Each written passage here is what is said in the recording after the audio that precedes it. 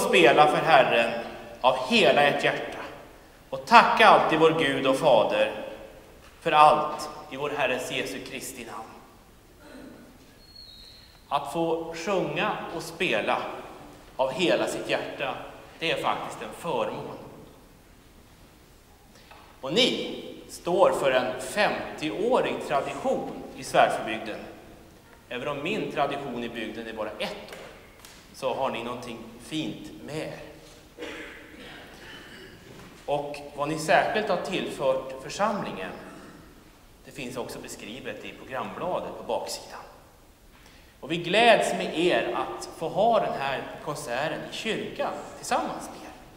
Det känns väldigt bra. Och Gud utmanar oss alltså, precis som i bibelordet, till sång och till spel.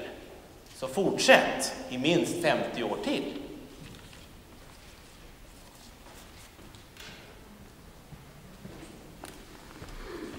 Tack för det. Hjärtligt välkomna. Vad kul att se så mycket folk.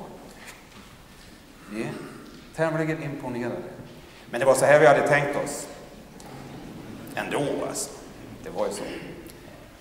50 år.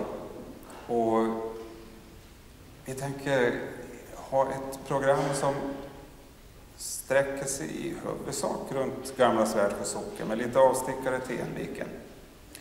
Och det vi hörde först, det, är, det var vår gamla signaturmelodi, Sjös skänklott. Och nu tänker vi fortsätta med en polska efter Eskil Åberg i Vinchen, som är från, polskan är från Svartnäs.